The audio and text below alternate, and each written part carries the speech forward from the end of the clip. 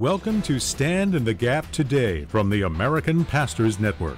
We proclaim truth in the public square by connecting a biblical worldview and constitutional principles to the most significant news of the day. Simple, careful, and truthful. That's Stand in the Gap Today. Now, here's your host. Well, thank you so much for tuning into this edition, uh, Friday edition of Stand in the Gap today. I'm Isaac Crockett, and I'll be joined, of course, by the Honorable Sam Rohr, our Stand in the Gap today host and the president of the American Pastors Network. And though today may be April 1st, uh, Sam, we're, we're not planning on fooling around today. Uh, there's uh, no April Fools today. We have a special returning guest. Um, Zan Tyler is going to be on the program with us. In fact, Zan, just thank you so much for for making time in your busy schedule and a lot going on uh, for you that you you made time to be with us. Thank you so much for being on the program with us today. Well, Isaac, it is my pleasure and privilege, and I appreciate so much the ministry that you all have with pastors and the Ukraine parents everywhere. So thank you. Well, um, Zan, I, we have a lot we want to ask you about and, and get uh, get your voice on uh, some of these things. Uh, we want to talk about how we have forgotten God and tie this into what you saw as you were over in Russia with homeschool conferences over in Russia. You work with homeschooling here in the States. We want to talk about training our children, training our grandchildren in order to, to lead to a revival here in the United States and all over the world. Uh, but before we get into all that, just um, a reminder for those in, in our listening audience who maybe don't uh, know you or know a lot about you or remember some of the past programs you've been on. But uh, you've been involved with homeschooling since uh, late last century. Um, uh, 1900. That sounds so old when we say it that way.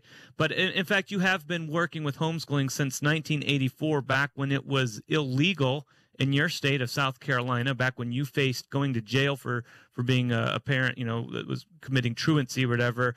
Um, can you just give us kind of a nutshell of, uh, you know, from somebody who you never thought you'd be a stay at home mom, a quote, stay at home mom, you never thought you'd be involved with homeschooling and uh, and then you have now spent uh, decades of your life not only homeschooling your own children but helping other people uh, standing up for for the rights of of Christian families to homeschool their children. And uh, you've become an author about homeschooling a speaker just sought after all over the country and all over the world and just an overall homeschool specialist. Could you just kind of give us a nutshell of, of what happened that changed things in your life in that respect Sure. I think it's sort of that overriding principle for all of us. Many are the plans in the mind of man, but God directs his steps. And mm. so we are, so I found myself in 1984 with a son in kindergarten who was not doing well. He was bright, gregarious. He was the only one in the class not reading, and I knew something was wrong. I wasn't sure what. I took him out of school, and a, a friend of mine gave me a book to read called Homegrown Kids. It's I believe it's out of print now, but she said, "Zan, I've been a public school teacher for many years. I'm going to homeschool my kids." Well, Isaac, it was the first time I had ever heard the word homeschool. And in that moment, I felt like I was in that scene in Star Wars with the trash compactor where the walls are closing in on the four heroes, and I, all I could think of was I, I've got to get away from this person and clear my mind. But I got home, I read this book. It gave me the most amazing vision of education where parents and children are involved together. It's a warm, responsive environment. Service to others is a keystone rather than popularity. And it it really it was like the Holy Spirit just moving in my heart and making me want this. But here again, it's 1984. I don't know anybody in the world who is actually homeschooling. No support groups, no state groups, no nobody who could help me, no internet. And uh, so I just told the Lord I was sorry I couldn't do this. And so the next few months of my life was God just bringing me to the point where I said yes to him because he had to he had to harden hearts. Friend of mine, friends of mine in the school district who wouldn't let me hold tie back, and the school district denied my application to homeschool and then I went to see the state superintendent who was a friend of my mother's. He had actually observed her classroom when he was getting his PhD in education, her public school classroom and and he threatened me with jail, and it was in that moment. Funny enough, interestingly enough, in that moment where the superintendent of education said, "Zan, I can put you in jail if you continue down this homeschool path," that I really knew that God was calling me to this venture, and it's just been the most amazing uh, journey I could have ever been on as a, a woman, as a wife, as a mother. Um, I, I wouldn't trade anything for it. Well, Zan, it's kind of interesting listening uh, to your story uh, because my wife and I began to homeschool in the 80s. We're in Pennsylvania. And uh, the laws began to change at that point. We were one of the very first as well here. I mean, it was early on, just like you're talking about. But I'm curious from from your perspective, when you look back now at the uh, at the involvement with your children and the education that they received, would you now, after looking back over all this time, do anything differently? I mean, how many times have you thanked the Lord that you made that choice, or you said, "Why did I make that choice?" Just a few of your thoughts as you look now back on that time. Oh, that is that is such a great question, and I am so thankful, like you said, that the Lord didn't listen to me about what I wanted with my life. I wanted to go to law school. That was my plan, practice law with my dad, who wasn't, he was an attorney but not practicing at that point in time. You know how when you're young, you have all these plans in your mind. And, and I'm so thankful he didn't listen to me. I cannot imagine raising children any other way. Now, was I a perfect mother? Absolutely not. Did I do things wrong? Absolutely. Were there things I, I wish I could change in the way I handled some things? Absolutely. But as a family, we were a group of imperfect people learning and growing together and learning to love the Lord Jesus. And I wouldn't trade that for the world. Mm. Amen. And and you know, as we talk about this today, um, uh, you know, one of the points I want people to think about, whether it's a parent, a grandparent, uh, an extended family member of some child, it's the influence that we can have on our own children. So many times I hear people complaining about all the bad things in society that are ruining our children. But God has given children to the home. God has given children to the parents. And it doesn't matter what the government says. It doesn't matter what schools say. It doesn't matter what society says. It matters what God tells parents. And so if you're listening, you have the responsibility to rear your children. And I'm not, you know, suggesting that everybody has to do it the way I do it or the way Sam or Zan has done it. But if you're a parent, you are responsible. You are given that charge by God. And um, we're, we're coming into our first break where we're going to hear from some of our partners but uh, I, I, just so appreciate Zan what you did and what you've done. Uh, I appreciate your testimony, and um, I'm just uh, thankful for this opportunity that we can share with other people um, what what is going on, and, and we want to look at how we can really see revival by training our own children, and, and many opportunities through homeschooling that that comes into. And uh, so when we come back, we want to talk to, um, after hearing from our partners, we want to talk to you, Zan, about some interesting things that happened at a conference for homeschooling in Russia. Uh, very interesting. I don't think you'll want to miss this. We're going to take a quick time out. We'll be right back with author speaker Zan Tyler talking about a homeschool conference in Russia right after this.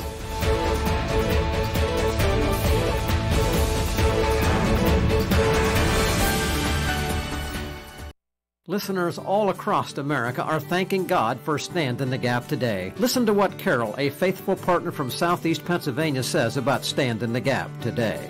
Hello, my name is Carol, a regular and faithful listener of Stand in the Gap Today, a daily one hour program heard Monday through Friday. The program hosts talk to interesting and fascinating guests who will discuss some of the most important issues of our day and time from a constitutional and biblical worldview. I hope you will join me for Stand in the Gap today a daily one hour program heard Monday through Friday. You'll be so glad you did, and remember, the American Pastors Network covets your prayers and financial support. Thanks, Carol. Your prayer and financial support of this program has helped us to become the main source of trustworthy news analysis for so many people. If you're listening to me right now and you've never contacted us like Carol did, would you do so now? Partner with us in prayer and finances by going to standinthegapradio.com. And if you're benefiting from this program, tell a friend. All across America, parents find themselves considering whether homeschooling might be a viable option for their children during this time of COVID lockdowns and mask mandates. As a homeschooling mom, I'd like to tell you why BJU Press offers you the support and materials you need to give your child a well rounded education. BJU Press approaches each subject from a biblical worldview perspective. God and His Word aren't just an add on in Bible class. Rather, our amazing, all powerful, creative, majestic God is present not only in science and history, but in English, math, reading, music, art, and more. Your children will be challenged and encouraged to seek Him with all their hearts, while learning and growing in wisdom and knowledge. And isn't that what we want for them? Whether you prefer a traditional textbook education, the flexibility of online learning, or a mix and match approach, BJU Press has what you need Visit their website at bjupresshomeschool.com. That's bjupresshomeschool.com. The Bible teaches us to count it all joy when we face trouble or persecution. How can we find real joy in times of trouble? Hello, I'm Sam Rohr with another Stand in the Gap Minute. This week we've looked at the persecution that we should expect as believers and how to respond to it. But James 1 2 adds that we're to count it all joy. But why? Well, the verse adds that the testing of our faith produces steadfastness or resilience. When we experience suffering, we build our endurance. Just as exercise builds the strength of our physical body, persecution strengthens our spirit. A workout may not feel like fun at the time, but consistent effort leads to much improvement. In a similar way, consistently facing persecution with joy deepens our faith and makes us more effective in living for God. So don't fear persecution. Count it all joy today. Discover more at AmericanPastorsNetwork.net. A male sportswoman of the year? This is Ken Ham heading up the ministry that built a full size evangelistic Noah's Ark. Last year, a biological male who lifts weights and identifies and competes as a woman was named Sportswoman of the Year. Transgender ideology is anti biblical and goes against observational science. And it's a war on women, one that's erasing them and hurting real people, including those caught up in gender transitions. Why is it happening? It's because people refuse to believe the truth of God's Word. Their darkened minds can't see the foolishness of what they believe. But we can clearly see this as foolishness when we start with Genesis, male and female, He created them. We need to turn to the timeless Word of God. Discover more about God's design for us when you visit our website at AnswersRadio.com and listen to this Bible upholding program again when you go to AnswersRadio.com. You're listening to Stand in the Gap today. For more information, visit our website at standinthegapradio.com. Well, welcome back to the program. I'm Isaac Crockett, uh, and Sam Rohr is with me today, and we're talking to a friend of ours and uh, uh, return guest to this program, Zan Tyler. We're talking about homeschooling and how parents and grandparents, family, extended family, uh, can invest in children and and, and see really a, a renew uh, a renewal um, by in our country coming back to the Lord, a revival. And uh, those are things we talk about a lot on this program. We also talk a lot about biblical worldview. And so, if you try to imagine, you know, for me as a parent, um, well, actually, my wife, she grew up in the same time period that Zan was talking about the 1980s. Zan and Sam were talking about homeschooling their children. My wife and I grew up in that time period. Her parents um, uh, lived in New York. Uh, my wife was adopted from from Kolkata, India grew up in New York State. Her dad uh, worked for the public school system, retired after 30 some years. While he was working for the public school system, they were homeschooling their four children. And uh, and it was the choice they made. So for, for my wife and I, seven years ago, when it was time, I was working, teaching in public schools as well. But we decided to homeschool our children too, because it gives us opportunities to to instill the word of God and a biblical worldview in our own children. It's our responsibility to rear our children. And uh, and so you know if you're wondering about what that's like, now imagine with me another country, a communist country, a country like Russia with socialism and communism and doesn't have the biblical worldview that our country was founded on. What in the world would they do to to do homeschooling? How would that look? What would that be like? Well zan you had the opportunity to experience that firsthand. You speak all over the united states. You get invited to go outside the united states and occasionally you, you, you go there. But you actually had the opportunity to go over to russia for a homeschooling conference. Can you just tell us about what that was like to be invited uh, of all places to russia well, it was pretty amazing, Isaac. It was in 2018, and it was a result of the work of the Global Home Education Exchange, uh, GHEX, and they they had been working in Russia with Russians for quite a while in this developing homeschooling movement over there. So there were actually two conferences. One was in St. Petersburg and one was in Moscow. And so I spoke at both of those. The one in Moscow had a, probably a thousand Russian nationals with parents and children there. It, it was quite an amazing sight to behold. And and Zan, let me ask you a further follow up question. That um, who sponsored that? Was that uh, a government sponsored event? You said this was 2018? 2018. Uh, actually, it was sponsored, I believe, by the Global Home Education Exchange, uh, which was set up originally by Homeschool Legal Defense Association, but they were working in conjunction with uh, many Russians that were just Russian nationals. Okay. There. Okay. So that that's very interesting because then, so the government at that point, obviously, this was not under the Soviet Union. This is under Russia. That's right. Putin would have been the president at that point. That's right. And there was a senator there who stood up and spoke about homeschooling like I couldn't believe. It it was really an amazing window in time. Isaac?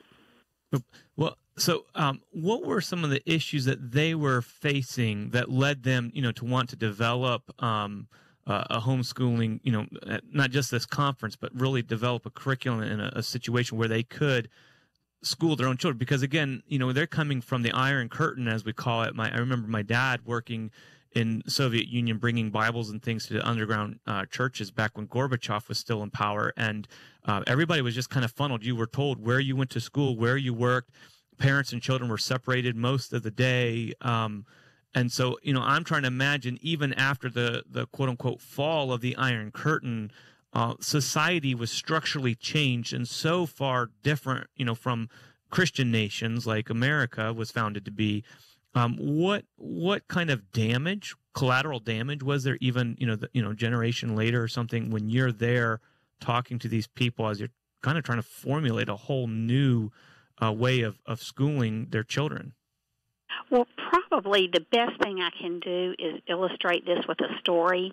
At one point, um, Father Dimitri got up and spoke, and I would say he was an elderly uh, man in his 80s. It was, and, and all of this is being done through translators. We, you know, we have the earpieces on, so we're having the Russian translated for us as the English, as the Americans there. And he started talking about Russia and what Russia was like. He said he grew up under the scourge of communism, he witnessed things like 85,000 priests being killed, 29,000 plus churches being decimated, and hundreds of thousands of Christians and academicians and artists being executed.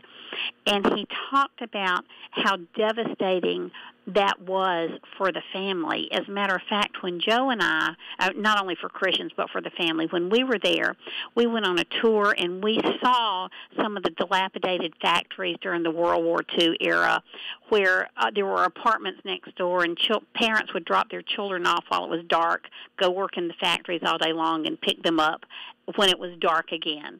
And he he really said that communism had ravaged the family, the church, and the Russian culture. And the only way he could to build the Russian family back up was through this thing called homeschooling.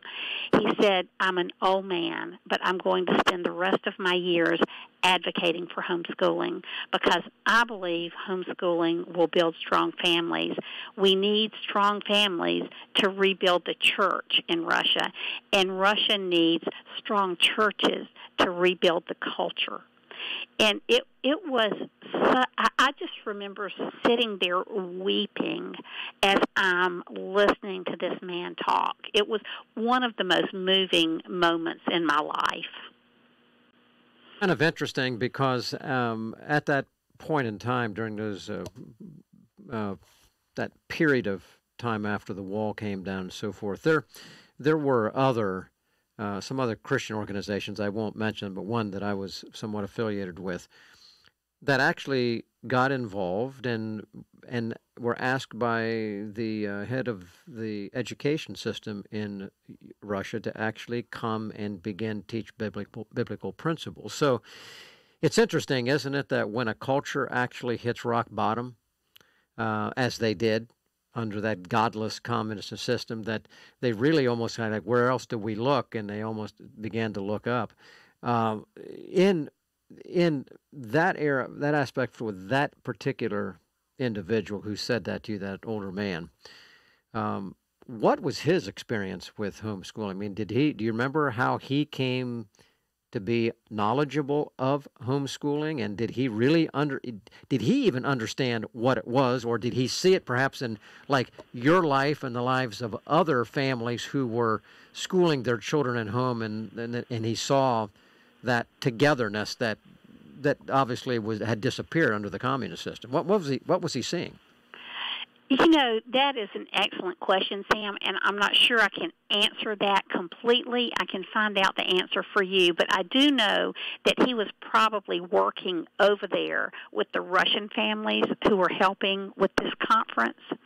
And and I think he just saw the strength and unity in these families, and it was eye-opening for him because I have never heard such an impassioned plea or statement of advocacy for homeschooling, I think, in my life that equaled that. I think the other thing he saw was he just he saw the decimation in the culture and maybe the Holy Spirit was just speaking to him, saying, "This is the answer for that decimation." Uh, I'll never forget reading an article by Andrew uh, Alexander Solzhenitsyn when he said that the hatred of God is the principal driving force behind communism.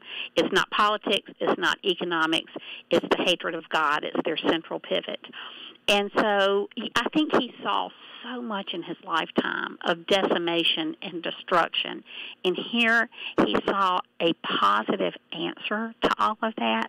This is me assimilating and giving you an educated guess in my mind what happened mm. after after everything he had seen in his life, a, to, a culture that had totally forgotten God, and now in, edu- in in homeschooling, there was a way to educate their kids successfully, but with an emphasis on remembering God. Hmm. And and even as you're talking, Zan, it just um, you know just feel the Holy Spirit you know moving to to think about that, to think that the driving force behind this horrible system that has caused so much damage throughout our world of communism is a hatred for God. And uh, you know, you're quoting Alexander Solzhenitsyn, and, and you've quoted him saying, you know, men have forgotten God, and that's a worldwide problem. That's a every generation problem. And again, I'm not telling you today that if you homeschool your children, it's going to solve every single problem, but homeschooling is an opportunity for you as a parent or a grandparent or a family member of somebody who you can help, maybe even do some of it. Maybe you can help somebody financially to be able to afford to do something different so they can homeschool. But it's an opportunity to see those children trained about God. Um, not just given over to a secular school system or something that will train them about whatever they want to train them, but they won't forget God because they'll know God, they'll know about God, um, would be the goal and the prayer. Um, there's so much more we want to talk about. We we, we want to keep picking your brain. Um, and we want to talk also about um, Homeworks by Precept is uh, a group that you work with that works in conjunction with BJU Press, and they have an online uh, event coming up. We want to talk about that. How maybe there's somebody listening and you want to know more about homeschooling, you want to know more about BJU Press. We've got a lot of information we want to give you, and uh, there's an upcoming event that I'm going to be a part of, and Zan's going to be a part of, uh, that you can tune into from your own home. And uh, so we have lots more. We're going to take another time out, hear from some more of our partners, and we'll be right back on Stand in the Gap today.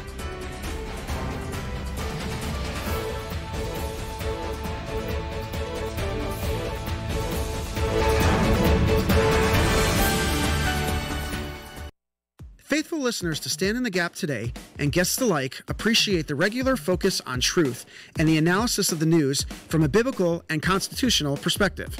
Here's a comment from Dr. Alex McFarland, speaker, author, apologist, and founder of the ministry Truth for a New Generation.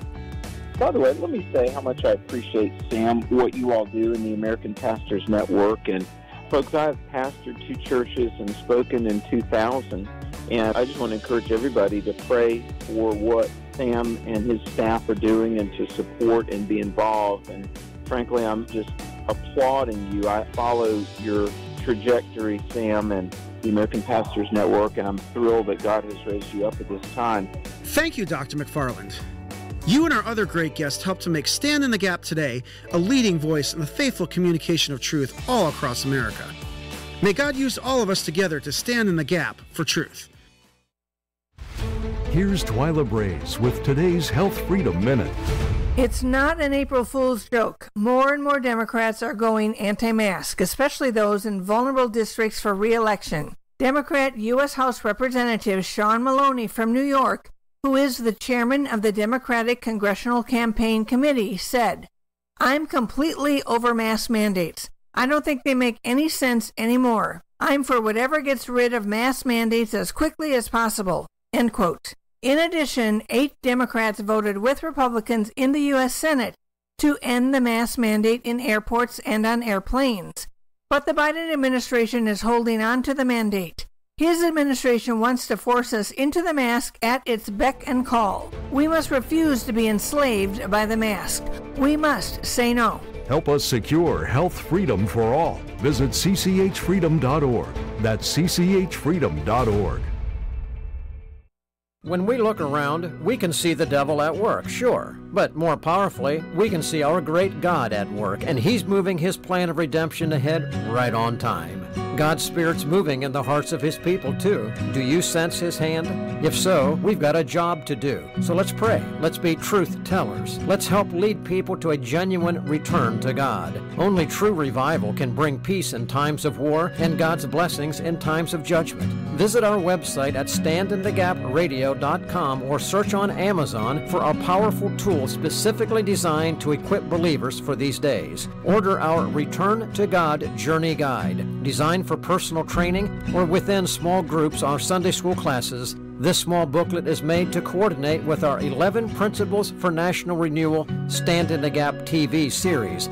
Learn more about the Return to God Journey Guide by going to standinthegapradio.com or search for it on Amazon. You're listening to Stand in the Gap today, discussing the pressing issues facing our culture from a biblical and constitutional perspective. Now let's rejoin our host.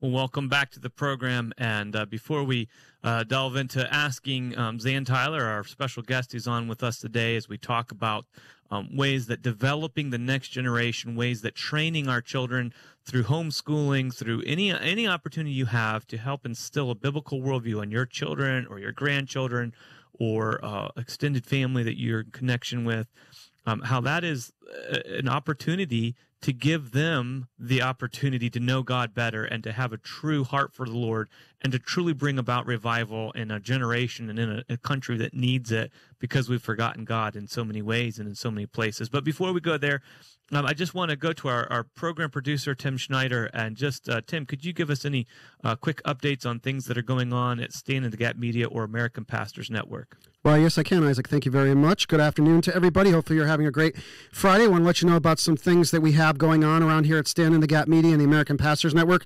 You heard us advertise about it for many months now. A Letter from god.org, which is uh, where you can go to find Letter to America from God. 23 minute video. Please go and check that out at letterfromgod.org. Also, accompany opinion, uh, uh, an accompanying opinion thing. Uh, I'm going to try to get my words. Something that you can use with the letter for, to America from God.org is our Return to God Journey Guide 11 Principles to National Renewal on Amazon. So if you have gone through and you've done the Letter to America from God video and you want to have something additional to add to that, we can go go on over to Amazon and check that out or go to our standinthegapmedia.org website.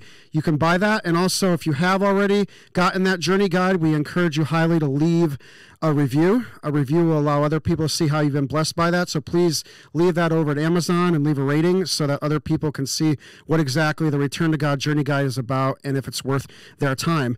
Also, we got two great websites, AmericanPastorsNetwork.net and StandInTheGapMedia.org.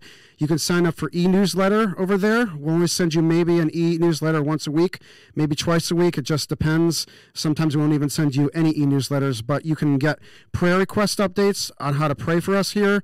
You can sign up for our weekly radio recap email, which is really neat. Get an opportunity to see all the programs from the previous week, just in case you miss some. Also, you'll see a transcript of a previous program. Also, you'll have an opportunity to even hear some audio clips from a previous program. So make sure you sign up for that newsletter at AmericanPastorsNetwork.net. Also, we highly encourage you to please pray for this ministry. We can't do much without your prayers. So please pray for us. And also, if the Lord has blessed you financially and you're really blessed by this ministry, please consider giving to our organization so we can continue to do the things that we need to do. So I will go ahead, Isaac, and get it on back to you. Well, thank you very much, Tim. And uh, just kind of picking up on uh, some of the things you spoke about.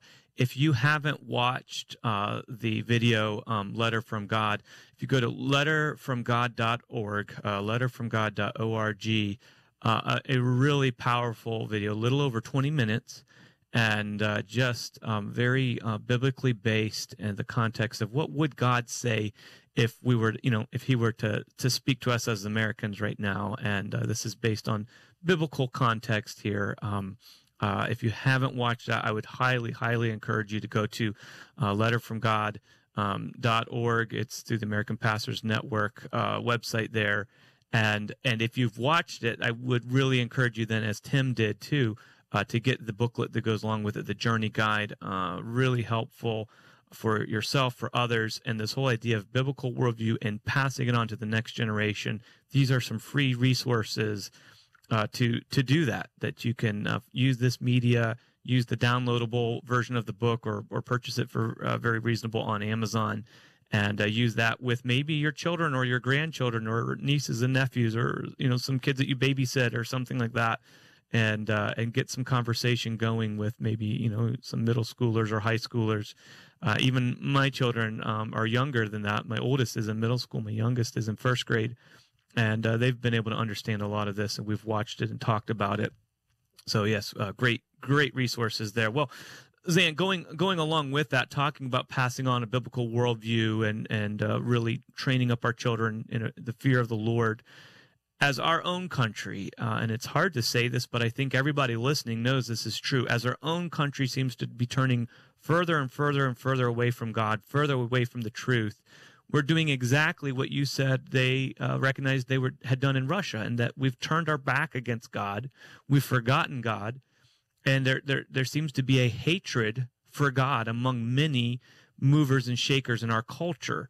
And so, uh, Zan, as our country does that, it seems like there are people, and it's not just the younger generation. I think sometimes we like to throw the younger generation under the bus, but they're being trained by generations that come before them.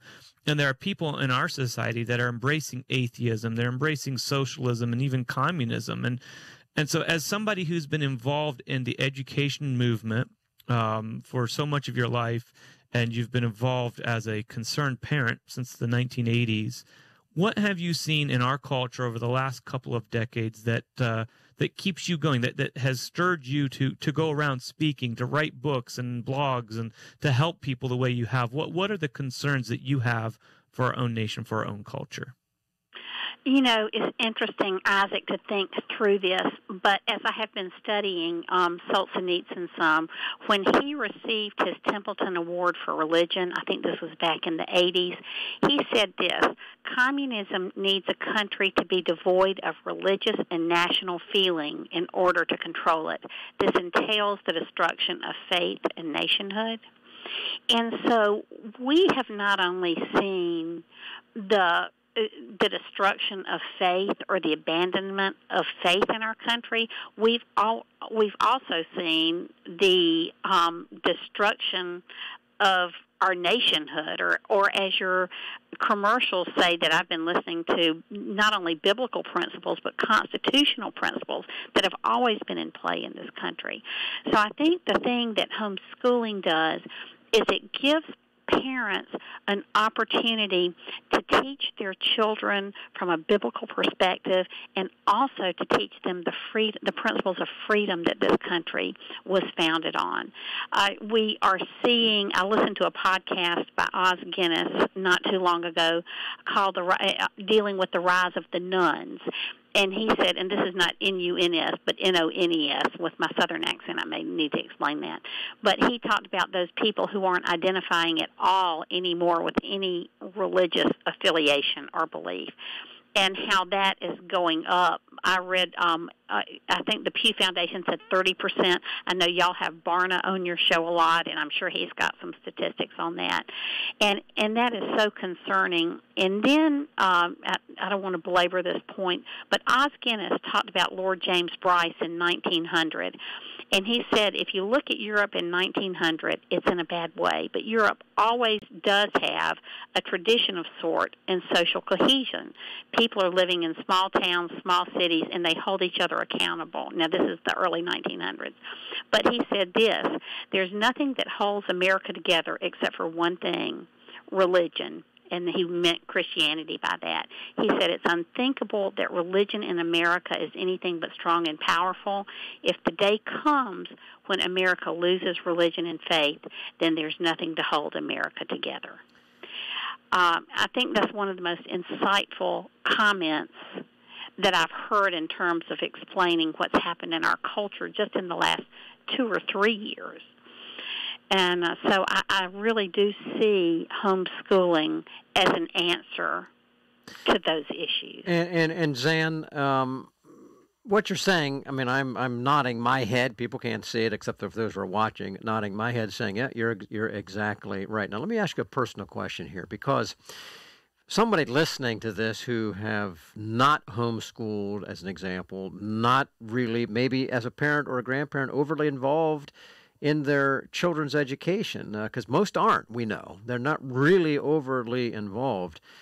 Here, here's a question I have for you Is it um, the effectiveness of homeschooling from your experience?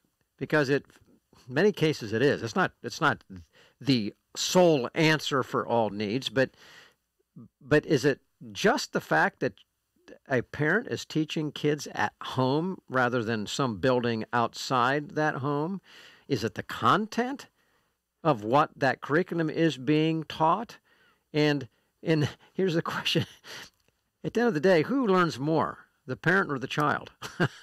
oh my goodness. The parent learns more and the parent is sanctified more. we are not talking about we have some blissful and idyllic days in our homeschooling but most of them are just a lot of hard work. And uh, but but you do you just gave the best explanation ever. It's it's the content coupled with the love of the parent and the children for each other and remembering god you know, teaching from a biblical worldview. I would love to tell you a story about this girl Annie I met. I was speaking at Freedom Day, Capital Day in I, in Idaho, uh, Iowa, for homeschoolers about two weeks ago. And Annie, who was a new homeschooler, came up to me, and she said, "I need to tell you my story." I didn't want to homeschool. I have my I had my my nine year old and eleven year old in a trustworthy school district, but COVID hit and I didn't like the virtual education, so I decided to homeschool for a year, and then I saw the content that my trustworthy school district was teaching, and I was appalled.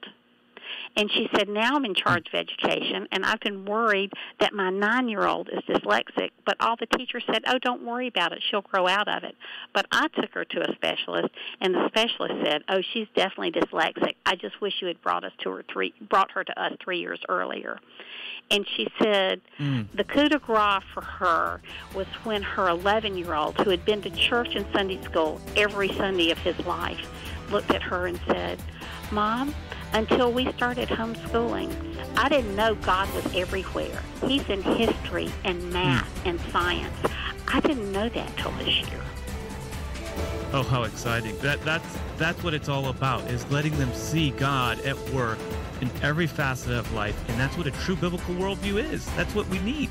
And so many people, if you would ask them, they think that they have a biblical worldview in their family. Sometimes it takes something like what we've had in the last few years. We're going to be right back on Stand in the Gap today. From the time our children are born until the moment they leave our homes as young adults, Christian parents are given the privilege and responsibility of guiding them into a personal relationship with Jesus Christ. All during their growing years, they're influenced by the people and events around them. Sometimes these are out of our control, but many times we can make choices as to how they'll be educated, what church they'll attend, and the overall atmosphere of our home. If you've decided your child is best influenced by a biblical worldview education, you'll want to consider Bob Jones University Press homeschool materials. Dedicated to academic excellence, BJU Press offers a curriculum that not only assists you to pass along your values to your children, but makes it easy and affordable. The decisions your child makes in response to the challenges and opportunities they face in life are largely determined by their inner spiritual compass. Is your child ready for the journey? Find out more at bjupress.com. For years, faithful Christians formed nonprofit foundations or trusts to preserve their ability to generously give to their favorite causes or ministries, even after their death. The problem? Professional managers, pressure from left wing agendas, and even family members with opposing views hijacked the original donor intent. This is sad but true. But this subversion of purpose can be prevented. Hello, I'm Sam Rohr of the American Pastors Network, and I'm glad to recommend Capstone Legacy Foundation in Wayne, Pennsylvania, an experienced and capable Christian community foundation. Established to help you set up a ministry, a giving structure guaranteed not to be hijacked, or a place you can donate cash or non cash assets like stocks, bonds, or property Capstone's designed to help you achieve immediate tax savings and give you needed time to decide how to prayerfully allocate your giving. Contact Capstone at 610 688 8890 or visit them at capstonelegacy.org.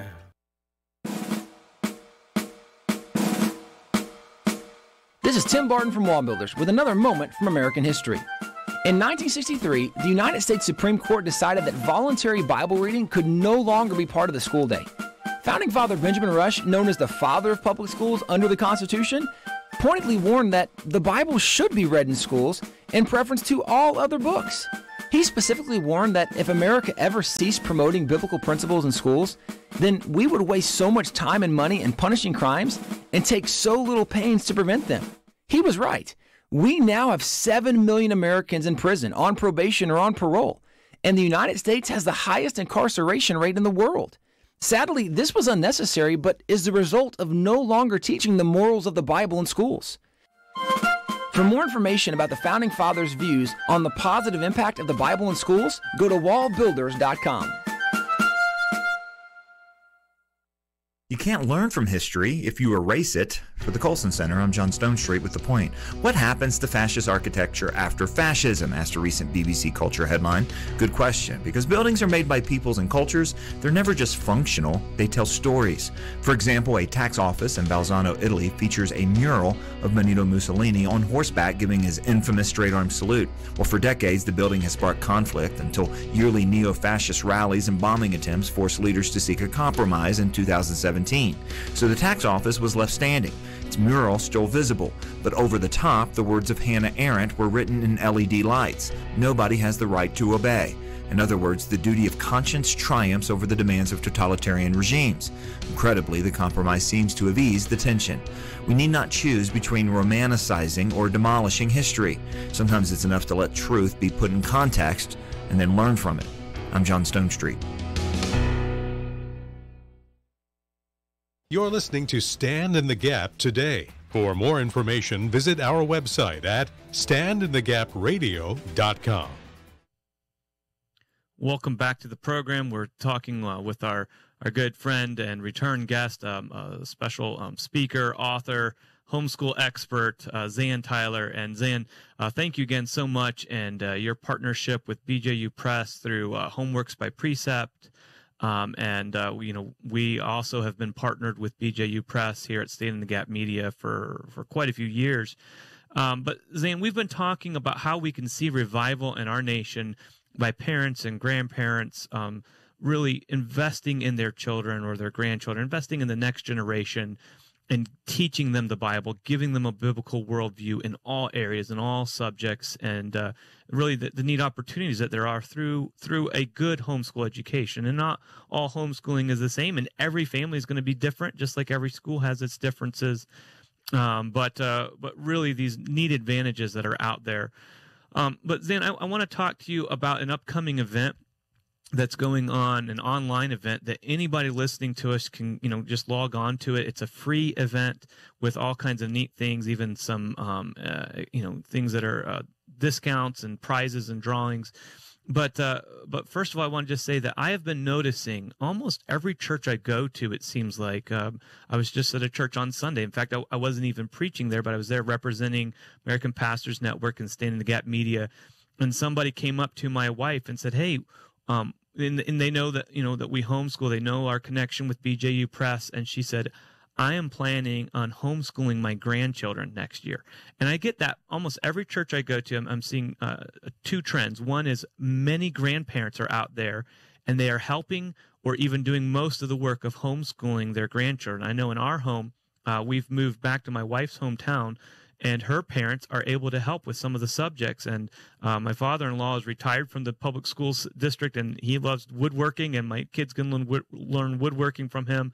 There's a retired uh, widow lady in our church who teaches my daughter uh, sewing and uh, knitting and things. There are uh, relatives that you know and friends that do farming or other construction things that my kids get to learn from. It's it's a neat opportunity. Sometimes um, Hillary Clinton was famous for saying it takes a village to raise a child. Well, raising a, a homeschool child with the backing of a family and a church is also really exciting and really helpful. But Zan, could you talk to us a little bit um, about how maybe somebody who's uh, trying to help with their grandchildren's homeschool, or maybe we have parents like my wife and I, we work from home and we homeschool while working from home. Um, what what opportunities there might be for them in this upcoming online event, and how they can find out more about that and log you know log into it for free uh, coming up here in just a couple of weeks. Oh, Isaac, thank you for teeing that up for me because this we have an online event that is like no other, an online party. It's April 18th through 22nd. It's free. It's eight hours a day, 11 a.m. to 7 p.m. Eastern Standard Time. It's free, but you have to register before 9 o'clock on April 18th. And for the party and to register, the URL is homeschoolhelp.com slash party. Actually, that's where you go to register and find out about the party. So it's homeschoolhelp.com slash party. There's a registration field. We've got great speakers this year. So this is, the whole event is, des, is designed to encourage and inform people who are homeschooling or want to homeschool. So we have Kristi Clover speaking, who's an an expert on homeschooling and home organization. We have Ginger Hubbard speaking, who has many books on parenting that so many of our audience listen to. And then Isaac, we have you doing a special um, slot for us on the importance of family discipleship, and we're so excited about that. So there, there's so many things. We're going to have discounts and prizes and drawings, uh, a lot of fun interaction from those who are attending in the threads, and uh, I think it's just it is a great way to be encouraged and learn more about homeschooling.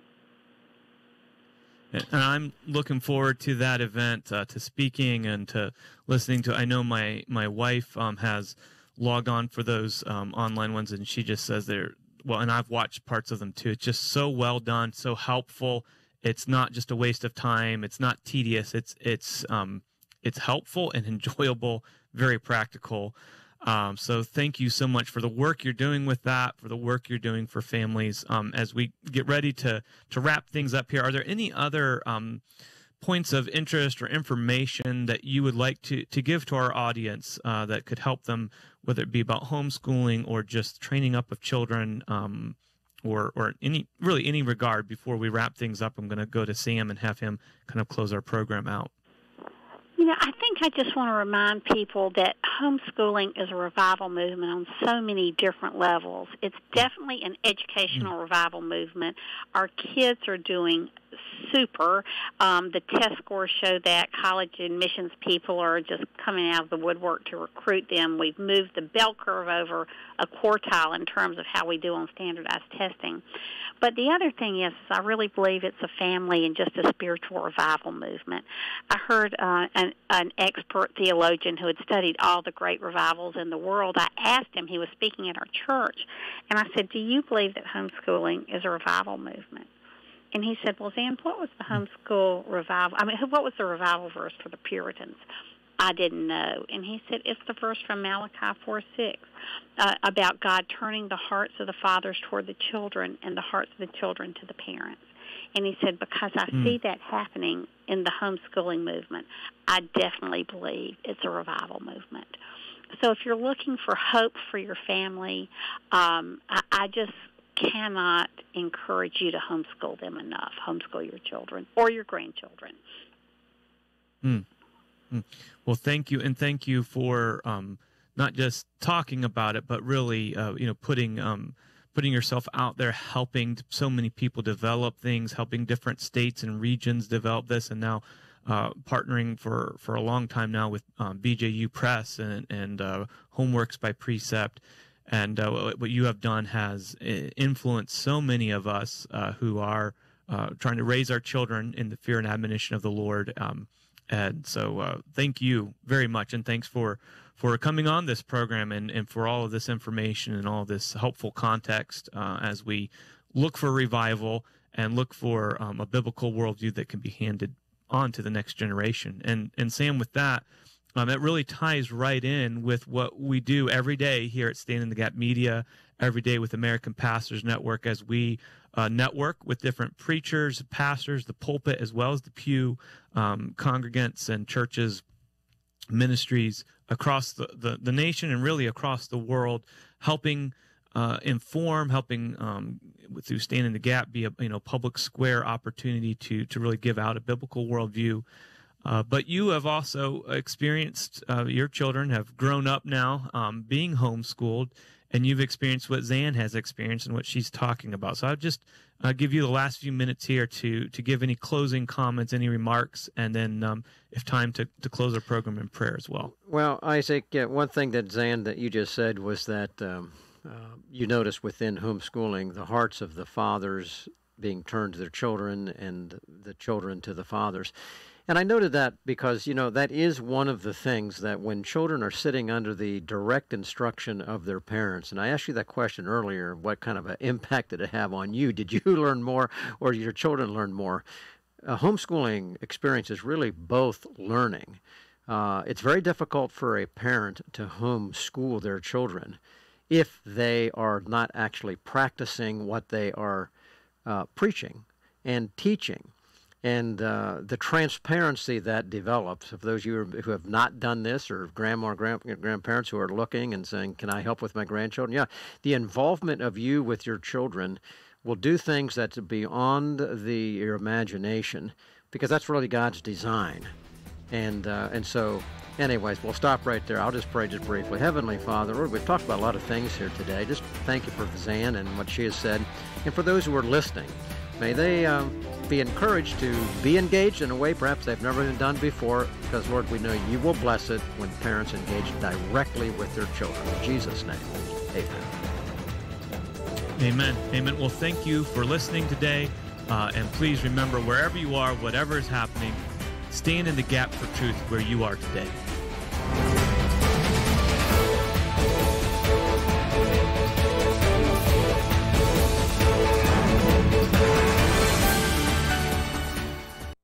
If you liked today's program, tell a friend. You'll also want to hear Stand in the Gap Weekend and watch the nationally syndicated Stand in the Gap TV program. We present the news of the day truthfully, carefully, and consistently from a biblical worldview and constitutional perspective. If you're hungry for the truth, visit standinthegapmedia.org to find all our programs and the stations that carry them. While you're there, be sure to download our free app and support this ministry with your best financial gift. Then join us again right here Monday through Friday for another program of Stand in the Gap Today.